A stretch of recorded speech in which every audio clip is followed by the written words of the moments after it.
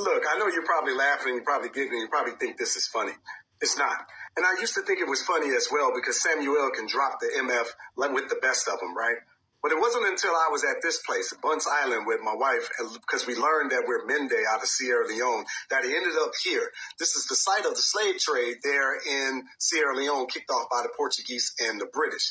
Uh, and it wasn't until I was at this place and going through these slave dungeons and being introduced to this individual, Abdullah, Abdullah in Sierra Leone, who is a historian uh, and a brilliant young brother, but he slowed us down and he said the quickest way to start a fight in Sierra Leone, particularly among the Mende people, is by calling them an MFer.